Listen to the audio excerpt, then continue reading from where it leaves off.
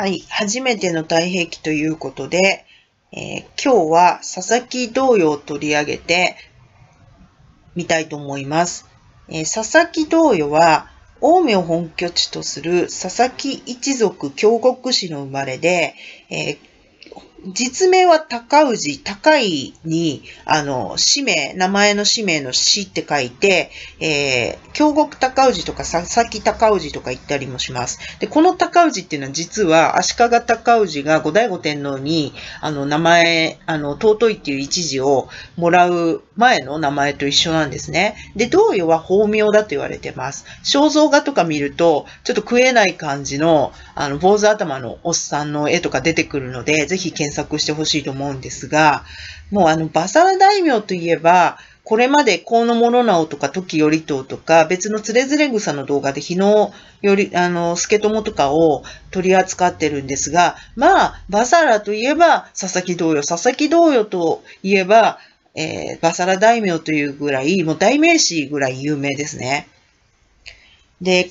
彼の、あの、バサラぶりっていうのは、バサラっていうのは当時のその常識とか、そその権威とか、そういったものを簡単にこう飛び越えてって、乱暴な振る舞いとか過敏な身なりをしたりすることを言うんですが、えー、まあ、いくつか書いてあります。で、一番は、あの、妙法院との一件なんですね。もうこれだけで太平記1項目できてるぐらいです。で、これどんな事件かというと、えー、道予の小高狩りの帰り道に、あの、妙本院を通り過ぎてった時に、まあ、あの、その行列の後ろの方の、まあ、佐々木一派の、あの、何人かだと思うんですけれども、1グループが、その、ちょうどその住職が、良少発信能って言うんですけれども、ミスの中から秋の夕暮れを眺めて、こう、いい気分で歌を読んでたんですね。で、もみじ綺麗だなって言ってたら、それバキバキっておる人たちがいて、まあもちろん、こう、佐々木一派なんですけど、どういう一派なんですけど、なんて乱暴なことするんだって、あれを誰かやめさせなさいって言って寺の中から、あの、住職好きの人たちが出てきて、あの、やめなさいって言って、あの、止めに行くんですけれども、ご、ご所とはなんだよ、笑わせるわぐらいのこと言って、こう、まあまあ、ヤンキーですよね、こういうノリって。もう、ますますこう、付け上がったということが書かれています。で、折しも、あの、妙法院と同門の延暦寺の山法師たちが、あの、こう、大勢宿泊してたみたいで、おいおいって何やってんだ？あの、乱暴しやがってっていうんで、そのもみじ取り返してボコボコにして、あの、門の外に出したんですね。で、これを聞いた同様はすいませんなんて言いません。えー、どんなやつだって、こう、今、同様の一派に逆らう、同様、あの、グループに逆らうっていうのは、えー、な、何様だって。これはもう仕返しするしかないって、自らこう300機率いて、妙法院に押し寄せて、焼いたって、あの、放火したっていうんですね。もうとんでもないことですね。で、まあ、すごい、あの、事態になってしまったってその火事は書いてあります。まあ、一応、その、住職たちは慌ててこう逃げてなんとかなったみたいなんですけどね。で、これに比叡山が起こって、あの、なんとか誠意って、あの、同様を罰してくれって言うんですね。で、とうとう、あの、これあの、比叡山名物、あの、みこしなんですけど、みこしを皇居に担ぎ込んでゴーソにも出ます。でも、とうとうまあ、足利型の幕府もほっとけないだろうってんで、罰をあの、下したんですが、まあ、当時の上総の山辺の氷、今の千葉県の三部郡に、あの、流刑という形になります。で、流刑当日、同様は、普通の格好して現れません。300人の若い衆を見送りに立たしてお揃いのファッションで決めさせたんですね。どんなファッションかっていうと、猿の皮剥いでその皮を腰当てにしてたんです。これ明らかな挑発なんです。なぜか。えー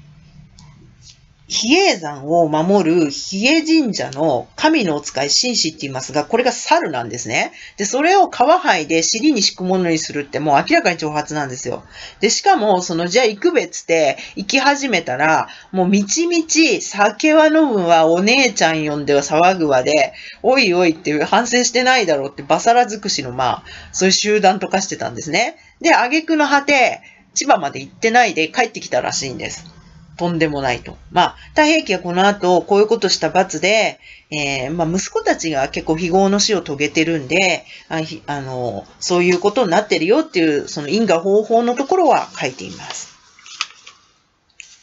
で、しかし、佐々木同様といえば前回の青野ヶ原の戦いのところでも、その青野ヶ原で時頼党が、あの、北畠昭家をなんとか、あの、こう、疲弊させて、じゃあ、その、京都で迎え撃つかって言った時に、まあ、橋桁落として、瀬田とかその、宇治の橋桁落として、あの、京都で迎え撃つよりは、あの、川を背にして、あの、その前の陣を引いて、あの、排水の陣で臨むべきだっていうことを言って、で、他の人たちは排水の陣の故事を知らなくて、そんなこと聞いたことがないっつったら、まあ、佐々木同様がそもそもっつって、こう、長い故事を語るというシーンがあるんですが、えー、佐々木同様っていうのは、